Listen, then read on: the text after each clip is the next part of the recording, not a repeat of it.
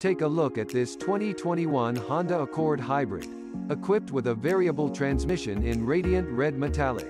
This car comes with some great features including adaptive cruise control, brake assist, alloy wheels, Android Auto and more. Come in and check it out today.